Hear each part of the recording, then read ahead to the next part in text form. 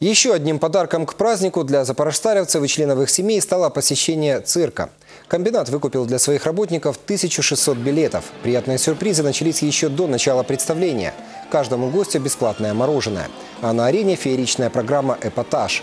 Дрессировщики и их питомцы, акробаты и эквилибристы, танцевальное шоу и веселые клоуны подарили работникам комбината и их детям незабываемый праздник. Более двух часов большие и маленькие зрители восторженно следили за разворачивающимися под куполом цирка действом. А после его окончания были единодушны.